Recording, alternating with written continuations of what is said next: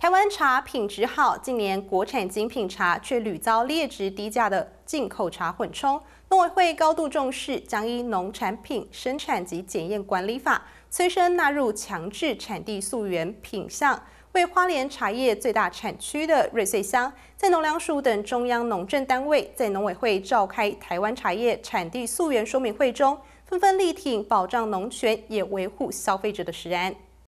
为了强化国产茶溯源管理，农粮署副署长姚志旺率团下乡，来到花莲瑞穗乡召开台湾茶叶产地溯源说明会。除了中央农政单位、地方农会及茶农，也都踊跃参加。那要教各位呃茶农朋友，那这得就得得像，要安那去做这件代志，那怎么去标示，那怎么去溯源？所以我们会预告会一个公告的呃迄个程序要行。啊，今仔。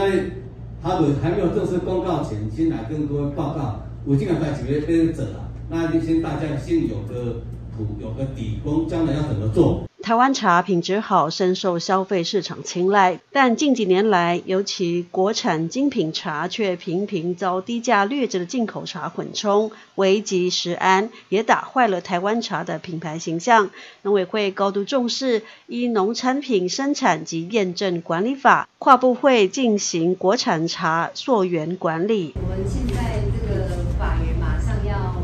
要开始了嘛？那我们之前就是说这个六月或是七月以前所生产的茶叶，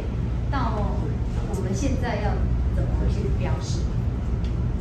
哦，那这个溯源资讯当然包含了我们现行已经在推的产销履历或者是产地标章，这个贴上去就符合这样的一个公告的一个